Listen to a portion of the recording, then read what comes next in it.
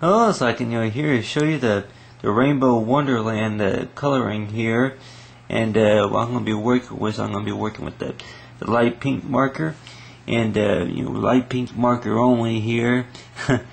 but uh, what I'm going to go ahead and do is um, is uh, you know I went ahead and uh, you know, add a, a cloud right here. But what I, went ahead and do is I added a like a tulip looking flower, and then the you know, the sun, the sunset, know, the sun, and then the rainbow, and then that a leaf, and then that. Got a cloud right here. But what I'm gonna go ahead and do is uh, draw. Uh, draw a cloud, a few clouds. You know, I guess they don't have to be big. And draw um, another cloud right here. You make them a little smaller. But um, see here, you said make them a little smaller, like uh, you know if they were like uh, you know far-sighted.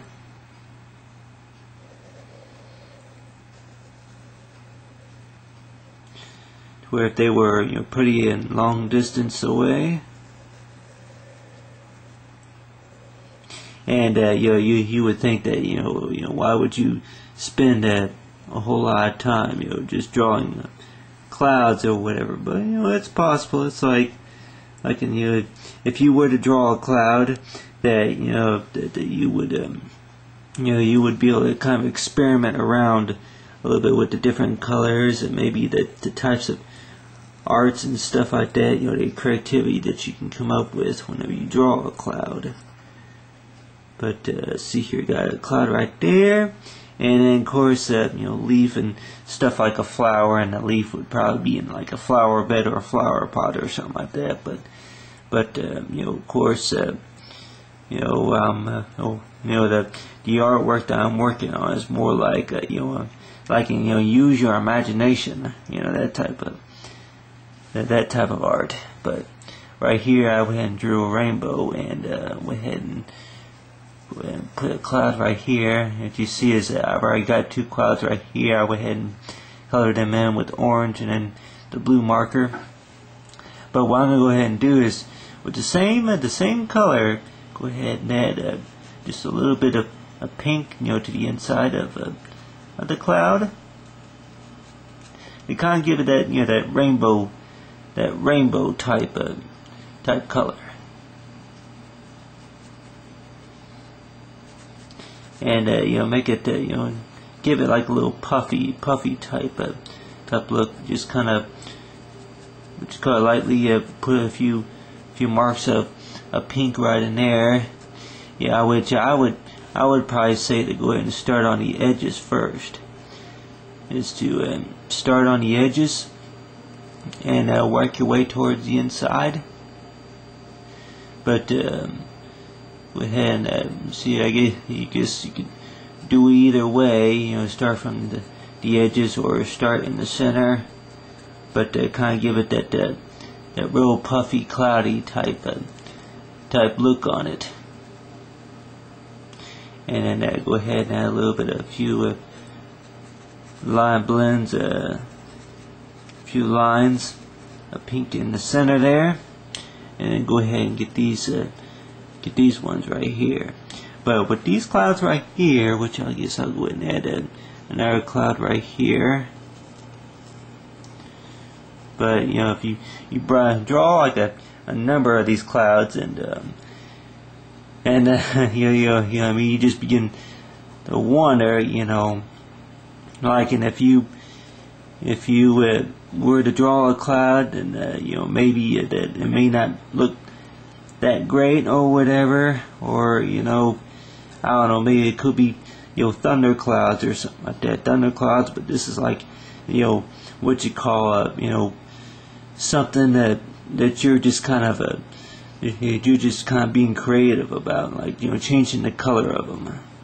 Like and I don't know, you know, maybe every once in a while, maybe I've seen a, a pink cloud before, or I've seen I've seen maybe a green looking cloud, uh, but uh, you know maybe a green cloud or or maybe a purple cloud every once in a while. But I guess they have their standard type colors. But um, see here, finish the, this cloud up right here, and then after that, and then go ahead and add, uh, go ahead and color a little bit of this cloud in here. But uh, to make it look a little bit like, you know, far distance, which I went ahead and do with this cloud is I went ahead and put a little bit of green, but, you know, with, with the pink, since I'm uh, only using pink here, that uh, lightly, you know, not a whole lot, but just lightly, lightly colored um, the cloud in with um, just a little bit of pink. And not a whole lot, but just just enough to kind of kind of make it look like a, like you know like the sky, I guess you could say.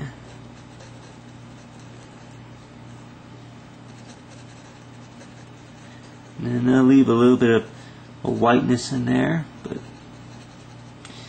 got that right there. Go and color in a little bit of that. And then go ahead and get a little bit more of this cloud here.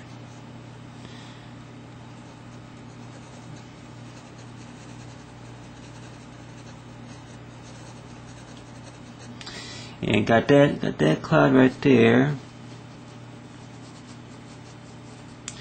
And then it would you know color in a little bit of these these clouds here. And then I don't know, maybe you could maybe put some seagulls or whatever in uh, you know in this picture. But uh, if I were to put uh, put one a flying seagull or something like that, some type of bird in the sky, then I'll maybe say using the pink marker is uh, maybe go ahead and, and draw one uh, but right here give it uh, you know give it some wings. And draw one at about right here.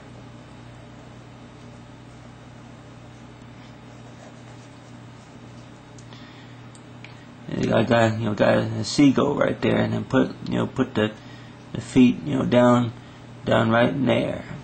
As you can see got the, the seagull and I got the, the feet right there.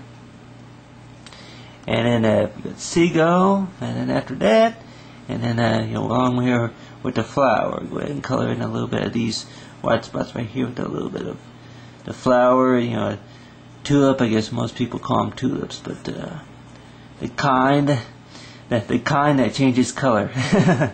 Anyway But anyway, you got got the clouds. You got you got the, most of the clouds here. Go and get this one a little bit colored in, and go and get that one colored in. And they are. It's like in the uh, what you call it a the, the rainbow wonderland, you know, coloring.